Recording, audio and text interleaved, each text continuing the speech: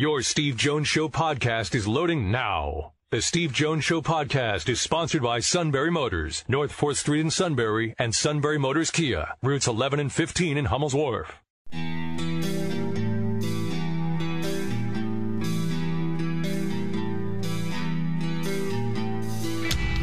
Sports talk where your voice counts. This is the Steve Jones Show on News Radio 1070 WKOK. Now, from the Sunbury Motors Studio, here's Steve Jones. All right, Sunbury Motors, 4th Street in Sunbury. Sunbury Motors Kia, routes 11 and 15 in Hummel's Wharf and online at sunburymotors.com. Ford, Lincoln, Kia, Hyundai. Great new inventory. Eh, maybe you either prefer or maybe your budget dictates pre owned inventory. Well, they go over it with a fine tooth comb. They have a great selection. Service department, hey, remember, service department isn't for ma- just major repairs. I mean, most of my service is done with maintenance, just, you know, scheduled maintenance. They're awesome. Either way. Sunbury Motors, 4th Street in Sunbury. Sunbury Motors Kia, routes 11 and 15 in Hummel's Wharf, and online at sunburymotors.com. Our play by play call of the day. The pitch to DJ is swung on and a high fly to left. And that ball is gone into the left field seats. He supplied his own power. He swung at whatever it was and hit it in the left field seats. Espinal has a big smile on his face. So DJ homers.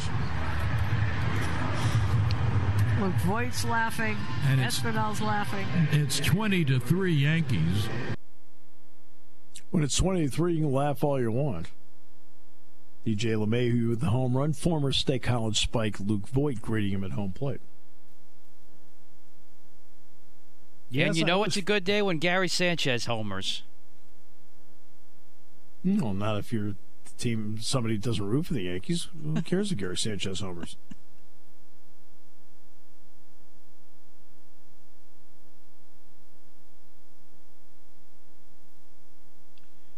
Okay. Um, we still have Rich Scarcella on the show. Tomorrow, Myron Medcalf, ESPN, in the show because we're going to get to the basketball component. That hasn't come out yet.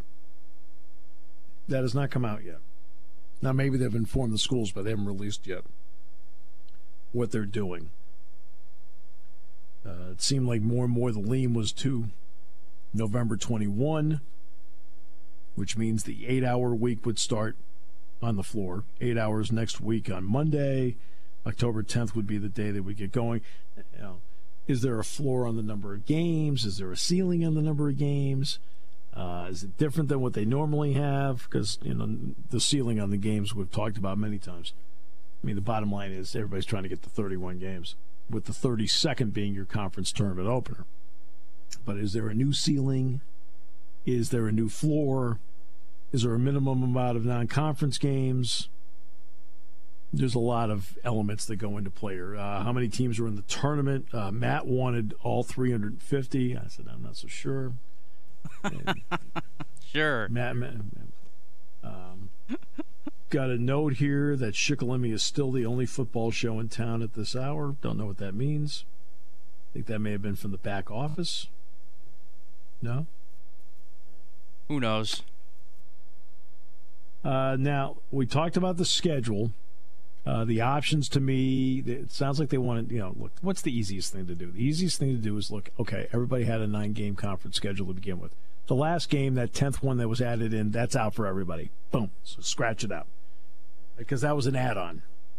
So go back to the original nine game schedule, which had an order to it. But one game has to be eliminated. And the one game that will be eliminated for everybody will be the Eastern Division team hosting a Western Division team. Because the East, all the Eastern Division teams were scheduled to play five home games this year in conference. So that means to get to four and four, one of your crossover games has to be eliminated. For Penn State, that's either Northwestern or Iowa. That's if they stick with the original schedule. And in all likelihood, I wouldn't be surprised they did it. It's easier. You've already done it. So now you do that.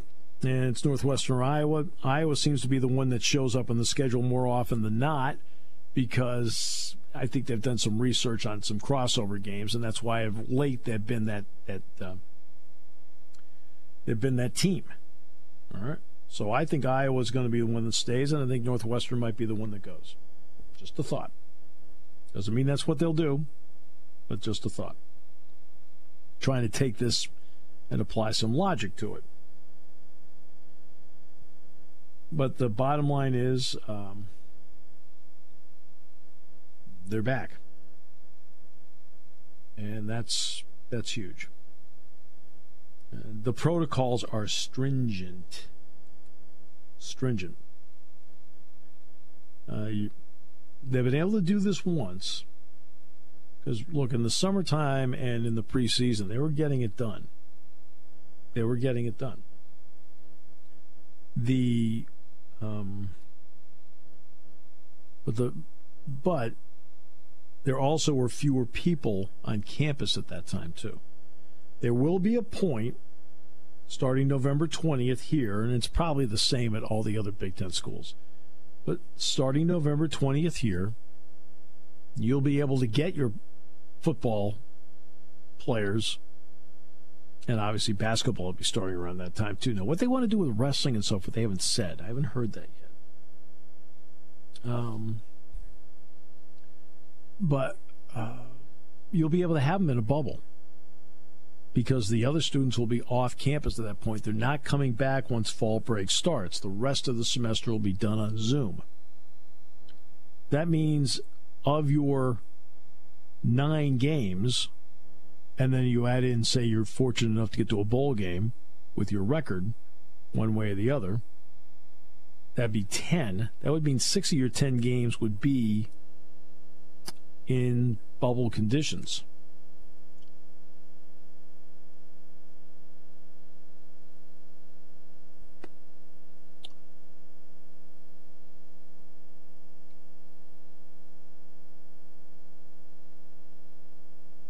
So that that comes into play. Now, obviously, going to be a. Here, here's something else too. Is this testing good enough, which it has to be, to detect whether you have the flu or COVID? Flu season's going to be starting. I'm just throwing these things out there, and a lot has changed. The accuracy, supposedly these tests are in the 85 to 92 percent accuracy range. They've got very strict protocols and it's going to be the responsibility of everybody involved, everybody involved to take good care of themselves and to avoid situations that could give them some trouble.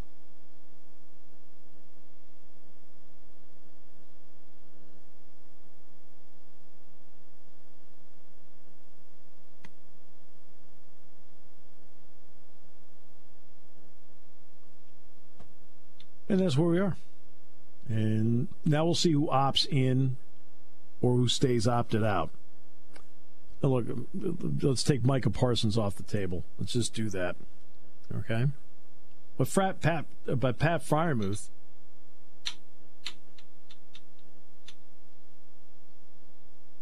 you ever ask yourself why I never talked about Pat Freiermuth? You ever ask ask that, Matt? Why I didn't talk about Pat Freiermuth? Um, well, I kind of know the answer, but no overall. That you didn't wonder? Exactly. Well, it goes back to what he said today. He said, I never opted out. Now, did he have a conversation with him? Of course, anybody in his position has to have that conversation. But he said, I never opted out. Well, why am I going to talk about somebody who hasn't opted out? When I'm sitting here knowing he hadn't opted out. Where were the quotes? Where was the statement? Where was James talking about it? When I had him on the coaches show, I didn't bring it up. Why didn't I bring it up? Because it, I knew it wasn't an issue.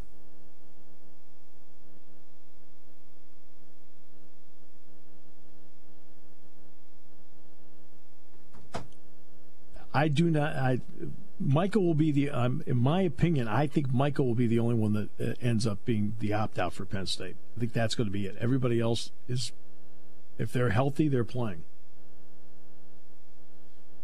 Okay. Um, if they're healthy, they're playing.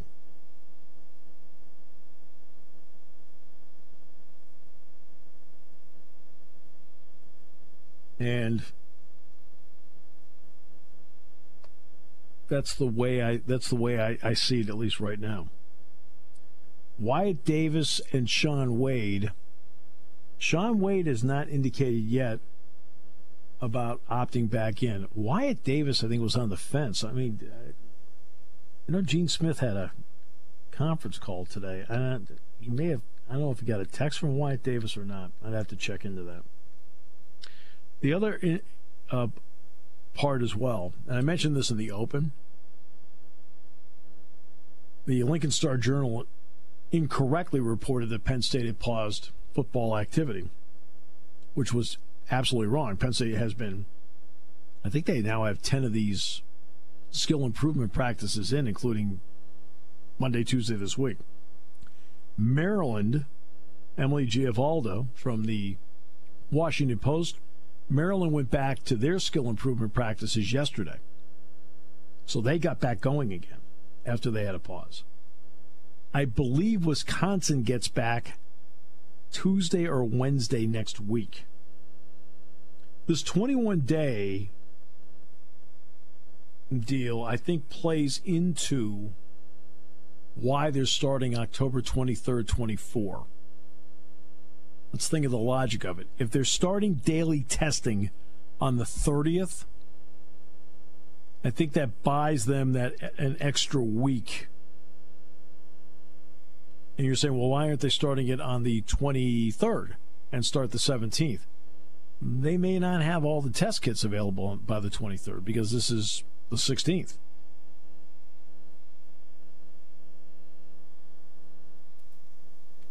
And Dan Patrick also mentioned today, too, Steve. Don't know what you know about it, but apparently there were some Big Ten schools that haven't practiced in over a month, and that was also another reason why they pushed it back a week instead of the 17th. Now it's the 24th. Which I, I was mentioning Maryland. Maryland did not. Right. Uh, Michigan State, I'm not sure what Michigan State's done. That one I can't answer. Uh, Maryland, I know, had been out. Wisconsin went out last week, on Wednesday last week. That's why they're back on what, Tuesday or Wednesday next week? But to the credit of Paul Chryst, he said, look, he said, you're asking me, so it would take us three weeks. And I don't know what Rutgers has been doing. Does it matter? you got to play them, so. I'm sorry. Uh, I mean, also, there sometimes is a tendency, and I mentioned this to Mark Wogenrich, that when you make a decision, you dig in on that decision. More criticism, you dig in further. In this case, I didn't do it. What's interesting about the Pac 12, did you see the Pac 12 story? One of the reasons that right now they don't quite know what to do is teams can't can't even work out the 12 hours because of the fires.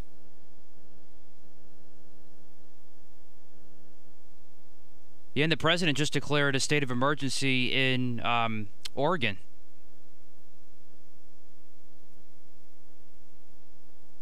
Um, yeah, uh, I mean that that's a problem.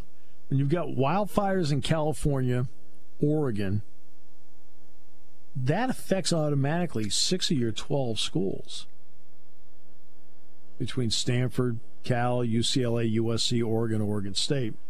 Now, whether it's affecting, I believe also the University of Washington, seven, that they would might be affected too because you know, the Mariners game got That's correct. postponed last night. Yeah, I got I got moved back to San Francisco, and they showed some photos of the sky over AT&T Park there, and that doesn't look in very good shape either. No.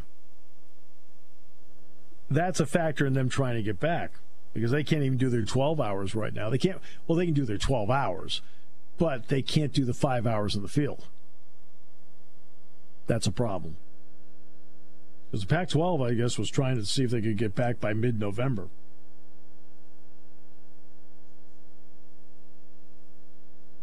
Here's one for you the USGA. Yeah, the USGA goes in and they get a golf course and they make they do everything they can to make it harder. Winged Foot, which at one time had a winner at seven over par, the winner was seven over par. The USGA went in and they looked for ways, if possible, to make the course easier. it's an interesting problem to have.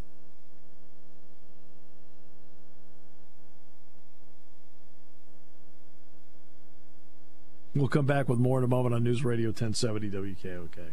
When it comes to car buying, there's the other guy's way, and then there's the SMC way. The other guys force you into a vehicle you really don't want. The Sunbury Motors way lets you take the time you need to browse, ask questions, and take the test drive and think on it. For over 100 years, the Mertz family and all their employees have made your experience the most pleasant one you'll ever have. The other guys won't offer you the best price for your trade, no matter how much they say they will. The SMC way is their promise to provide you with the most money the market shows your vehicle is worth. The SMC way is to offer you all applicable factory rebates on new vehicles and generous discounts. Looking for a pre owned vehicle? The SMC way checks each vehicle in a 200 mile radius to determine the lowest price, then beat it. It's the lowest price promise, just part of the SMC way. The choice is up to you the other guy's way or the SMC way. The SMC way wins every time. Sunbury Motors Company in the North 4th Street Auto Plaza, Sunbury, and at sunburymotors.com. Selling more cars and satisfying more customers for over 100 years.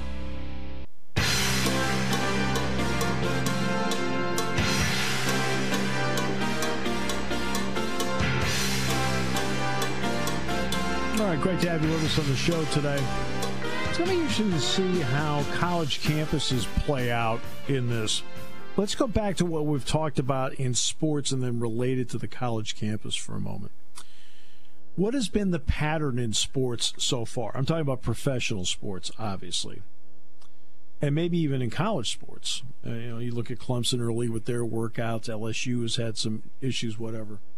It seems like in each instant, instance, uh, you have had high numbers early, and then it it tails off. I'm going to be interested to see on college campuses, which now we're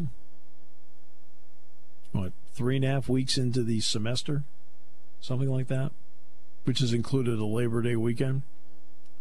I'm going to be interested to see in maybe two or three weeks if it settles down the way other elements we've watched sports get early positives and then settle down PGA Tour, NHL, Major League Baseball, and settle down. Now we're talking about adults here, right? We're talking about adults, family people, and so forth, versus college students who are. Um, in obviously a what can be a fun environment, no question about that, uh, and are responsible for themselves, but aren't responsible for other people at this point in their lives. You know, very few of them are married. Virtually none of them have children. You know, things like that. So I'm interested to see if there's an early surge like there have been in sports areas, and if the early surge then tails off a bit. The other part that's entering into it is getting cooler. It was down to about 40 degrees here last night. Uh, but uh, I'm interested to see if that happens. I don't know if it will, but I'm going to be interested to see if that happens. Um, which then translates to Penn State football, basketball, wrestling, so forth. This daily testing, by the way, will be for, I think, all athletes on campus. They'll be tested every day, all of them. So if you're an athlete on campus, you're going to get tested. So the wrestlers will get tested, the volleyball players will get tested, and so forth. Uh, they're also going to do uh, a database with myocarditis. That's important.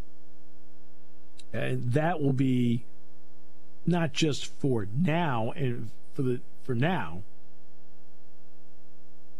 That is going to be for the future. That's uh, almost uh, research in a lot of ways.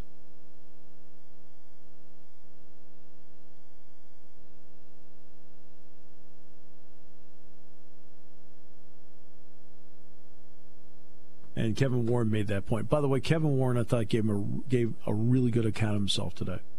He really did. As as unsteady as I thought he was on August 11th and unsure of himself, he was 180 of that today. First Big Ten games will be Friday, October 23rd. Now, which schools get that time slot to open things up? will be determined by the end of the week. But remember, FS1 has that Friday night game. One other element basketball.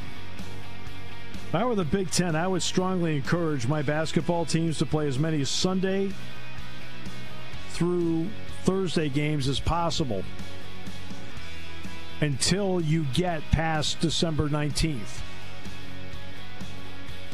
because I've got all this TV inventory on BTN and ESPN available. Remember, ESPN, which in November and December normally has regular season NBA games, in November and the vast majority of December will not have NBA games. NBA probably is not going to start its season up until Christmas at the earliest. So ESPN is going to have a lot of time slots available for college basketball. Just something to throw out there as a thought moving forward. Rich Scarcella next half hour.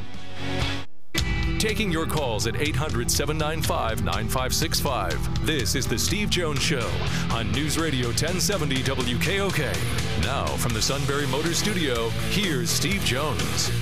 Sunbury Motors, 4th Street in Sunbury. Sunbury Motors Kia, routes 11 and 15 in Hummel's Wharf, and online at sunburymotors.com. Ford Lincoln Kia Hyundai, great pre owned inventory, great deals to be had as well. All at Sunbury Motors, 4th Street in Sunbury. Sunbury Motors Kia, routes 11 and 15 in Hummel's Wharf. Rich Scarcella vowed he would not return to this show until the Yankees scored 20 runs in a game. Well, Rich, welcome back. Great to have you with us. Was that the Yankees or the Giants? Who scored 20? I couldn't. Re- I, I lost track. Yeah, that's right. Yeah. yeah, I don't know. I don't. You know, I think the, the fact that the Yankees scored more runs than the Giants and the Jets in their first games. That's. Uh, I don't know who tells what what that says more about the Yankees or the the Giants and the Jets. But anyways, I, I don't think I you wanted to talk said, about that, did you? I believe it says something about all three. Uh, and now we will get to obviously the story of the day. Rich, we've watched this obviously play out with the twists and turns. Everybody has exponentially more information now than in August.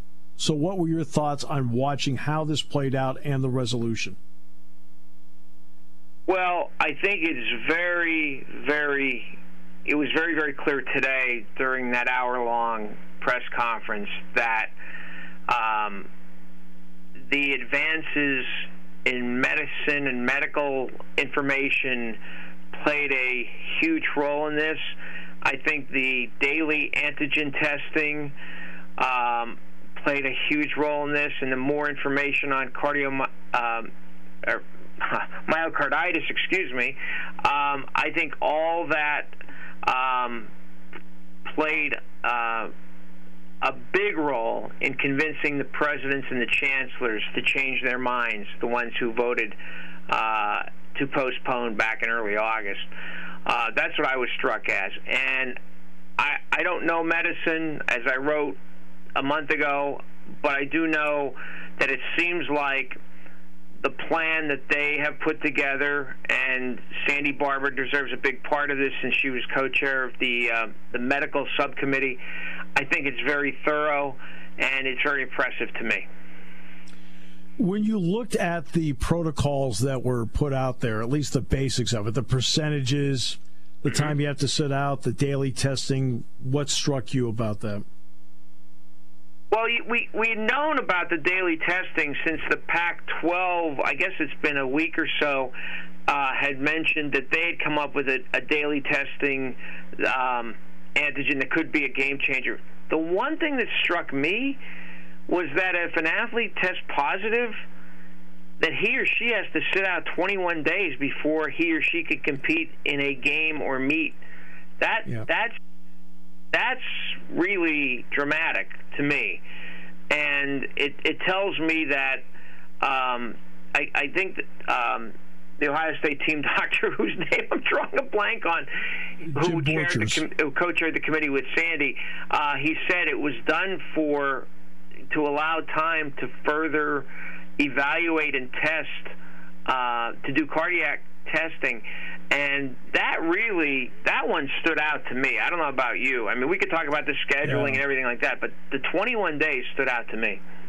That stood out to me above all, and I think that might be, and it's just going to be a guess on my part, that might be be the reason it starts the weekend of October 23, 24. If they start daily testing on the 30th Yeah. and say Yeah. somebody were, that would mean they'd be allowed back on October 20th. Right. Right. But I- I, I- he said also that they could start. I guess you can start the daily testing, but it can't be later than September 30th. But you're right. I think that's probably the reason, Steve, that it wasn't. I mean, there were reports out that it was going to be the weekend of the 16th, 17th, and that that I guess is why they they picked the 23rd and the 24th. Right, and and plus Wisconsin, I don't think can start practicing again until next Tuesday or Wednesday. Maryland came back yesterday, so it's Yeah. not as if the conference is on a perfect pathway at this hour. They're getting closer to it, though. Mhm. All right, so now the scheduling part of it, A plus one. Uh, I think you and I discussed back in August, in the spring, a seven, uh, a six plus one. Uh, we thought you and I had talked about six division games and a plus one for everybody at the end because I didn't want to extend the season too far into uh, toward the fall. What do you think about eight plus one with no bye weeks? Um, I think I'm okay with that. I like. Uh, I think eight was done for a reason. I think that's um, to get to more of a sample size. Um, I'm okay with that. I'm interested to see that that plus one game. Um, you know whether the seventh place team from the east is going to, or the seventh place team from the west is going to be excited to play that game. I don't know. I mean, who knows? But I like the idea. It's something different, and I I would like to see it done. I, I hope they play in neutral sites. You know, um, Detroit, Minneapolis, and uh, Indianapolis somehow, and tie it in with the championship game. I, I think that would be interesting. You'd have, you know, two full days of games. That would be an interesting concept. That would Yeah. be a very interesting concept. Plus, I, what hasn't been figured in, and I don't think I don't know if anybody asked this or not, but I believe they're going to be bowl games. Yeah, that was mentioned. Uh, Jim Phillips, the uh, AD at Northwestern, did mention that that this will allow the Big Ten teams to to play in bowl games. Not only and in the college football playoff, he thinks they're pretty sure. Well, they should be able to. If you're going to play the ninth game, you've now closed the gap on everybody else at that point. Um, the, the ninth game does that. Yeah, yeah. I think. I mean, I I like it. I you know I you know I, you know my biggest concern, like everybody else, is is keeping everybody as safe as possible. Yes. And yeah. we talked about you and I. I think Penn State, by all indications, I mean, the athletic department has done a really, really good job in doing that. Um, I know there's a spike in Centre County, and that's cause for concern. Um, you know, and I hope that's going to trend back down. Uh, but but as far as you know, I, I think this could be done. I, I like the fact that there'll be no um, the general public won't be in the stands, and I do like, uh, according to Sandy Barbour, that they're trying to work out a way to allow the parents and immediate family to uh, to see games home and away. I like that. Yeah, I like that a lot too because they've invested their hearts and souls in, to get to this moment. So yeah, Yeah. I, I understand. You know, you and I both know that we will come out you may come out of the media room to go back upstairs while I'm going to the bus to, to go to the airport. But we see the parents out there all the time. They're all over the place. I mean, they, I mean, they they spend a lot of their heart, soul, and money mm-hmm. to make sure they're there for their sons. Yeah, yeah.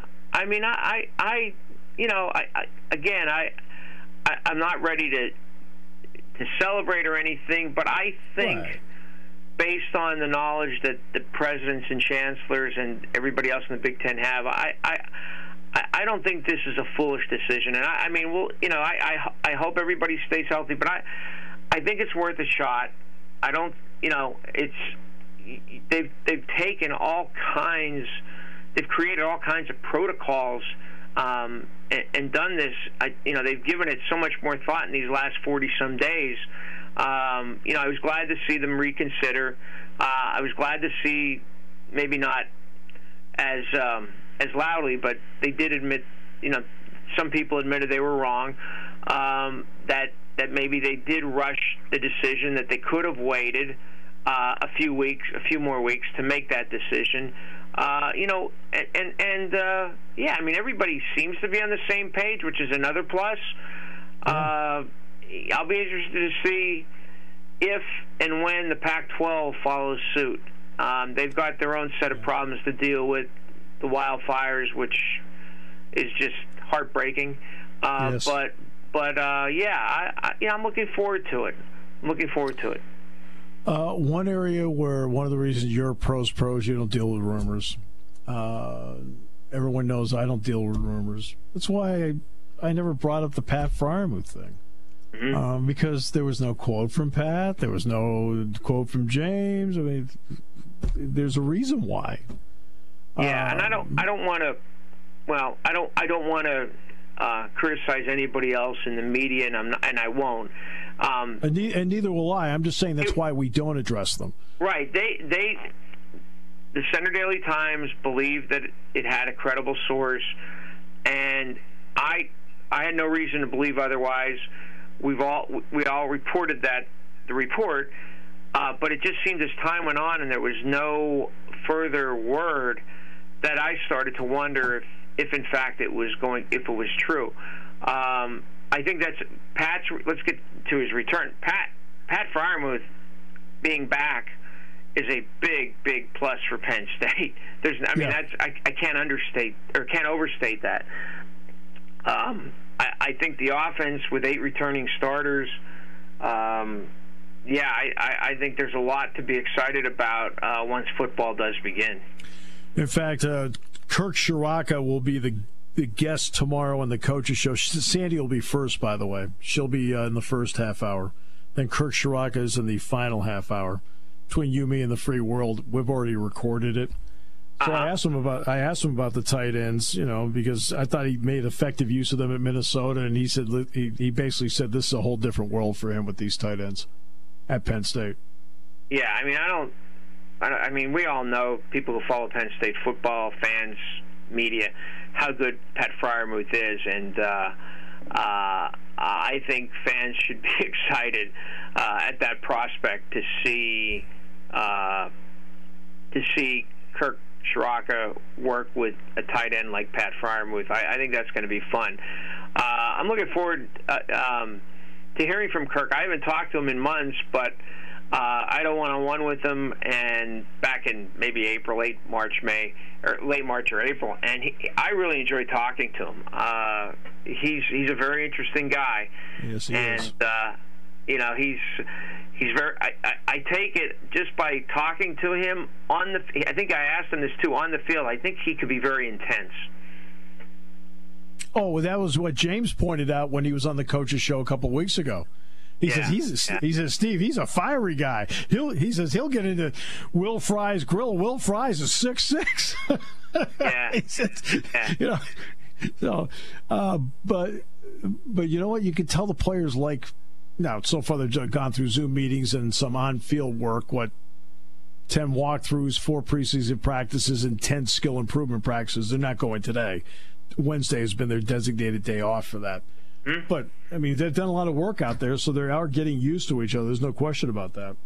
Yeah, yeah. I'm I, I'm interested to see how really, and I wrote about it for the Penn State Football Annual. The relationship between Mm-hmm. Kirk and Sean Clifford. Um, it seemed that they clicked pretty quickly when they met at the Cotton Bowl um, in an impromptu meeting, and sat on the sat on the team bus back from the practice. I don't know if it was practice field or the, or the stadium back to the hotel. But anyway, they they, they seemed to, to to to mesh pretty quickly, and uh, I'm really curious, really eager to see that, to see what how that relationship will evolve. Rich, always a pleasure. Appreciate it so much. Appreciate your time very much, and uh, cannot wait to actually see you. I was just going to say, Steve, I might actually see you this calendar year. I know this calendar How about year will that? finally. How about that? And at that point, maybe we'll be sitting there, and I'll stop by and I say, "What do you think about your Yankees in the World Series?" No, no, no. I, I, I, I'm going to be honest with you. I'm more excited about um, the uh, Green Bay Packers, who are qui- Yes. who quietly dismantled the Minnesota Vikings on the road. I'll just say that. And it looks like the quarterback is playing with a little bit of a chip on his shoulder, which, uh, as a Packer fan, I love. and I think is important because there were moments last year where I thought it was starting to become passionless. Sunday wasn't that.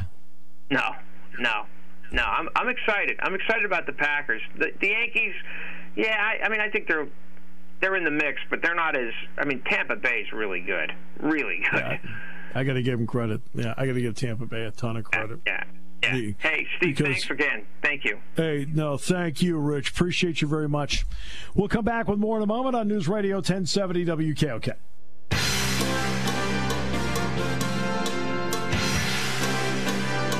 People have asked where that conversation came from. That was actually in the press box last week at Mill Hall. I heard. That was the halftime show.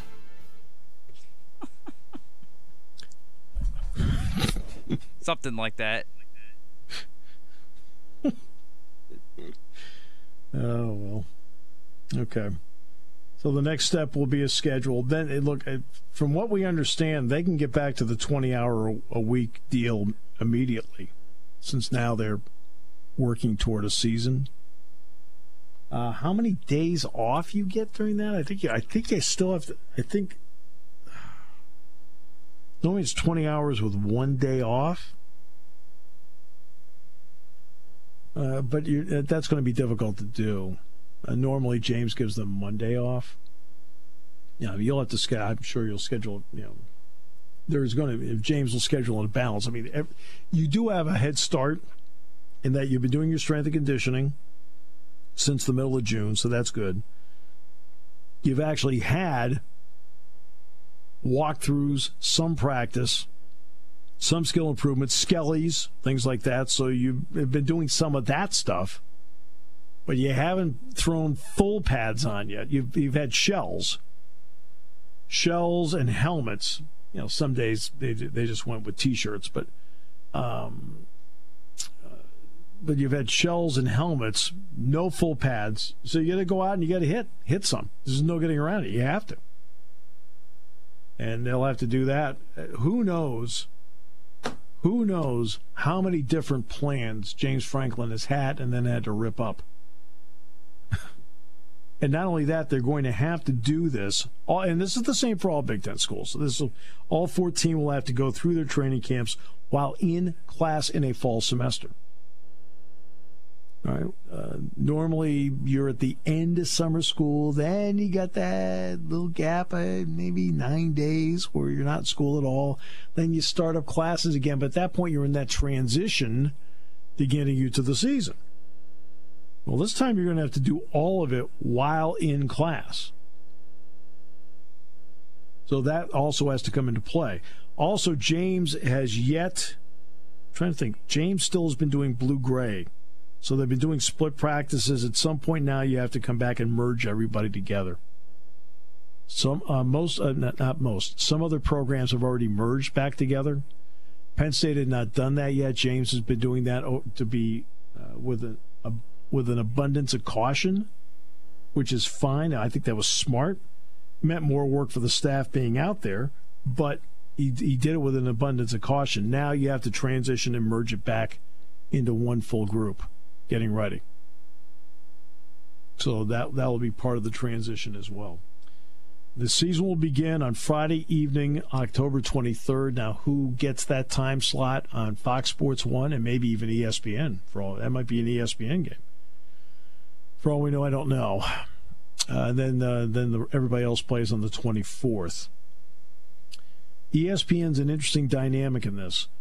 By October 23rd, ESPN will not have the NBA on because remember, that'd be the time where they'd be transitioning to bringing the NBA back in, the end of October.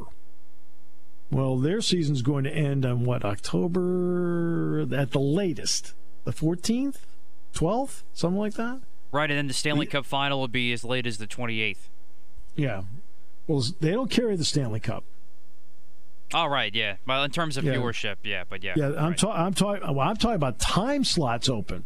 At this point, they'll be done with their baseball obligation.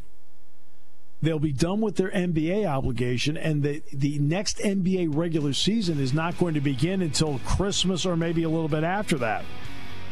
So normally the NBA would be on ESPN in November when the Big Ten was playing, and then obviously in December. They've got all those time slots open, which I think opens a lot of doors for college basketball.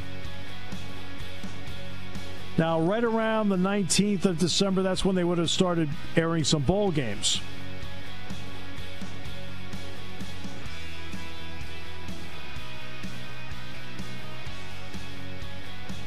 But I'm just saying, in order to, to merge a college football and basketball season, which is going to have an overlap to it, ESPN's going to have more time slots available than a normal November, late November and December because they won't have the NBA taking up two and three nights on their schedule. That's an interesting problem to have.